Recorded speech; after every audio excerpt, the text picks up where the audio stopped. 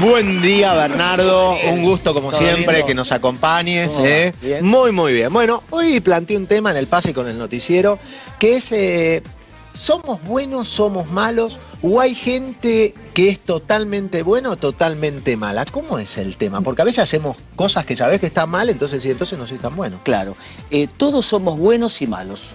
¿Todos somos buenos y malos? Sí, no existe el totalmente bueno y el totalmente malo. Todos tenemos un Caín y un Abel dentro. La diferencia entre el bueno y el malo es que el bueno también es malo, pero no lo ejerce. Esto es muy importante porque este, eh, todos venimos fallados de fábrica, es decir, tenemos el potencial de hacer cosas buenas y cosas malas.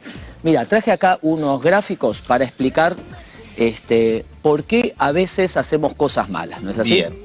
Fíjate, si yo te pregunto, ¿qué Pero yo para introducir un poquito más a la gente, Sí. perdóname que te interrumpa. Hay cosas malas que hacemos que son no tan malas. Hay que mata una persona es algo malo por ahí Eh, es, eh, difícil, muy claro, pesado. ¿no? Perverso, claro, exactamente. Fíjate, si yo te pregunto, ¿qué cosas, Ariel, no harías nunca en tu vida? Jamás.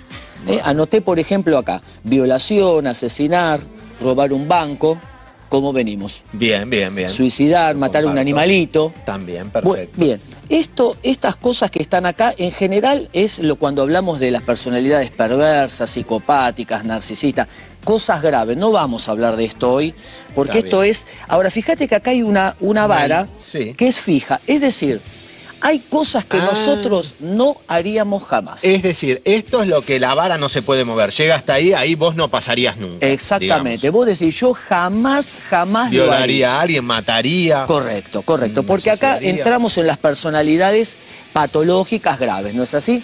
Ahora, fíjate esta segunda de acá. Ahora, de acá para acá tenemos, por ejemplo, eh, ayudar. ¿Has ayudado alguna vez? Sí, tratamos siempre. Ayudar, decir la verdad, bendecir, cuidar. Y algunas cositas malas. ¿eh? Ir por las banquinas, por ejemplo, para mentir, coimear, criticar, chusmear. Ya, esas son cosas que, digamos, si pienso, he hecho muchas de estas. Claro, todos tenemos eh, eh, la capacidad de hacer estas cosas buenas y estas malas. Estas no. Esas no. Estas no porque hay una línea fija. Hay como un límite, digamos. Exactamente. Ahora, fíjate esta aquí, esta tercera. Acá sí tenemos una vara. Acá tenemos las cosas buenas, ayudar, decir la verdad, etcétera, y ir por la banquina. Y acá hay una vara también, Sí. pero es móvil. Ah, O sea que yo hago cosas buenas, estas cosas malas no las hago. pero ¿y qué nos lleva a hacer cosas? ¿Qué es donde pones el foco de repente o algo te altere y decís, voy a tratar de no hacer Claro. más esto? Fíjate, por ejemplo, vos no vas por la banquina, pero suponete que estás manejando y ves que uno se va por la banquina, el otro se va por la banquina, el otro se va por la banquina, entonces vos decís, che, todos están yendo por la banquina. ¿Qué haces? Corriste la vara y ahora vos fuiste por la banquina. Ah, todos van por la banquina, me mando yo Y- también y chao. Sabés que está mal. Exactamente. Por ejemplo. Por ejemplo, ahora, ¿qué cosas son las que mueven la vara? Te nombro Claro, algunas. ¿Cómo hacemos para mover la vara? Bueno, una de la las vara maneras- para hacer cosas que no están tan bien o para corregir y dejar de hacer cosas que están Claro, mal. ¿no? mira, por ejemplo, el primero se llama sentimiento de invulnerabilidad. Quiere decir, a mí no me pasa nada. Es el exceso de confianza. Ah, voy por la banquina, total, acá no, No pasa, pasa nada, nada. dale que vamos. El 90% de los estudiantes se creen mejores que los demás. El 93% de los conductores se creen mejores que los demás. Ah, todos que pensamos que manejamos bien. Exactamente. Por ahí lo haces mal. A mí no me pasa nada. Entonces, cuando uno tiene ese sentimiento de omnipotencia, dice, yo puedo mentir, no pasa nada. Puedo robar, no me van a descubrir, no me pasa nada. Lo que uno hace en, el- en esto es achicar los riesgos y agrandar las capacidades. Es como un sentimiento de omnipotencia. Entonces, cuando uno se siente omnipotente, mueve la vara porque dice, no pasa nada, no me van a descubrir. Esta sería una, una de las formas, ¿no es así? La otra, por ejemplo, esta es interesante, es me lo merezco. Por ejemplo, yo estoy trabajando y me mato trabajando y dice, a mí no me pagan lo que yo me merecía, lo que me merezco.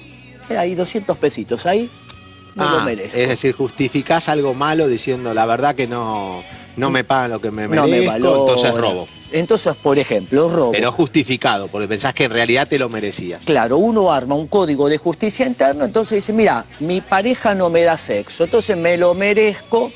¿eh? Entonces uno se da como una recompensa Eh, Entonces dice, se explica eso malo que hizo, porque, bueno, me lo merezco. Porque Esto no, de la pareja no me da sexo, pará, porque me- me- ahí me mataste. No, no me da sexo, entonces soy infiel. Claro, por ejemplo, por Ah, ejemplo. justifico que soy pero infiel no me reconoce, no me, no me Está bien, acaricia, las cosas donde te Bernardo, escudás no me- y- Exactamente, entonces yo me lo merecía porque es un premio que yo me doy. Esta es otra manera eh, que mo- movemos la vara. Este te va a interesar porque tiene que ver con lo tuyo. A ver, Afecto aureola se llama. ¿qué es esto? Es hacer algo bueno para anular algo malo. ¿Y por qué digo que tiene que ver con lo tuyo? Ya este me sacó la ficha. Tranquilo, tranquilo. Vos fíjate, voy y me como, me como todo, Voy así al restaurante, Todo. mi casa, abro la ladera, me la vacío. todo. Pero la coca, la, perdón, la gaseosa light. O el café con chúcar. Después que te Me comiste me comí la todo. selva negra, la pasta frola, todo. Eh, exacto. O sea, algo eh, light anula. Para justificar todo lo malo. Claro, dame, eh, preparame una doble hamburguesa, pero por favor, poner una lechuguita y un tomatito en el medio. Para que sea sana. Claro. O sea, la lechuguita va a anular las calorías de la doble hamburguesa. Es un pensamiento mágico. Es como el, el traficante o el narcotraficante que vende droga, pero dona X dinero a, la- X a ONG. Claro, o... Es eh, la- para lavar culpas lo que se dice, la- sentirse mejor porque... Claro, es, es una manera de, es decir, el, el narcotraficante, por ejemplo, que mata gente, para dar un ejemplo extremo, pero a los hijos los supercuida. Entonces, lo que se genera en la mente es, si yo hago esto bueno, esto no es tan malo. Es como el perdón. Claro, es manera. una justificación interna y un pensamiento mágico de que ese, ese el, el, el chúcar va a anular todas las calorías que incorporé de más, ¿no es así? Perfecto. Ese es otro elemento. Después está otra manera de mover la vara, es la racionalización, que este lo usamos mucho cuando mentimos. Mover la vara es cómo a veces hacemos cosas malas que no hacíamos o volvemos para atrás. ¿no? Exacto. Entonces, cambiamos las palabras. Por ejemplo, eh, el soldado que va a la guerra le dice, bueno, eso fue un daño colateral. No se le llama matar a alguien, es un daño colateral. Entonces, cambiar las palabras Claro. te hace... Sí, sí, no, no es que mate una persona, sino daño colateral de lo que estamos haciendo. No pasa nada, dale seguir. Exacto. Por ejemplo, Perfecto. mira, había un, hay un psicólogo americano que hace un juego, un experimento con un grupo de personas que le da un juego y le dice, el juego se llama Wall Street. Y a otro grupo de chicos le dice, el juego se llama Trabajo en Comunidad. Es el mismo juego, pero empieza a medir y ve que el nivel de competitividad de los que le dijo que el juego se llama Wall Street es 10 veces mayor que lo que les dijo el juego de comunidad. El poder de, de las la palabras, palabra. ¿no?